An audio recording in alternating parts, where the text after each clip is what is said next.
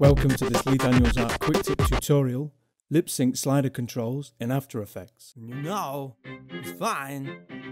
It's fine. This is a composition containing a bunch of different mouth shapes imported from Photoshop. First thing we do is select all the layers, make sure you're at the start of the comp and press Alt and right bracket. Then go to Animation, Keyframe Assistant and Sequence Layers.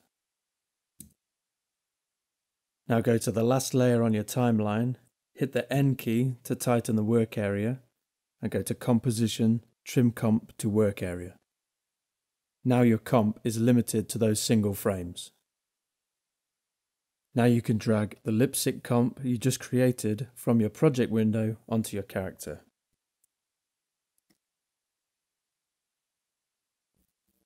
Select the lip sync layer and go to Effect, Expression Controls, Slider Control.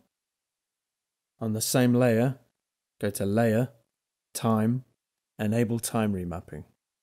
Holding down the Alt key, click on the stopwatch icon of time remapping, and with the pick whip, link to the slider.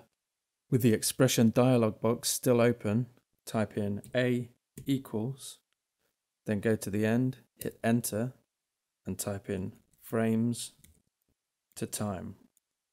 Round bracket A, close round brackets. We need the slider value to match the amount of mouth shapes. So right click on the slider to edit the value. And in the maximum range, I'm typing in 14, which is how many mouth shapes are in this comp. Now all the mouth shapes should be spread evenly through the slider range. At the start of the comp, create a keyframe for the slider control. Right click on the keyframe and select Toggle Hold Keyframe.